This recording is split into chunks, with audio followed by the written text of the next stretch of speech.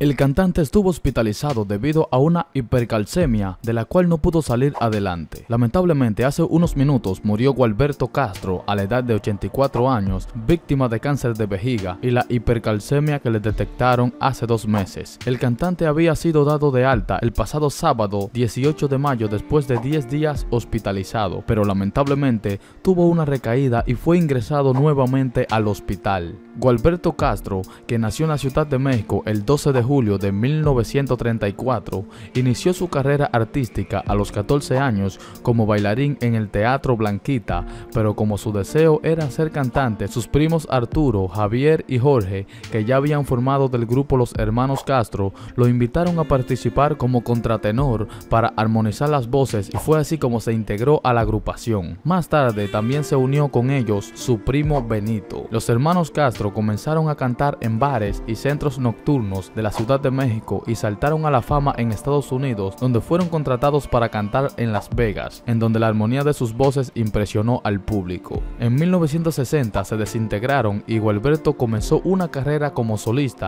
con mucho éxito. En 1975 ganó el festival OTI con el tema La Felicidad. En 1980 lo invitaron a participar como presentador del programa La Carabina de Ambrosio al lado de Beto Boticario, Javier López Chabelo y Gina Montes, en donde diversificó su carrera como actor de comedia. Gualberto contó con varios éxitos musicales, pero los dos temas más emblemáticos de su carrera fueron Qué mal amada estás y La felicidad, que debido a su popularidad en 2011, la NFL la utilizó para un comercial de fútbol americano. A Gualberto Castro le sobreviven su esposa Gundy Becker, con quien estuvo casado durante los últimos 20 años, y su única hija Altia Castro Herrera, producto de su primer con la bailarina Altia Mitchell. Descansa en paz.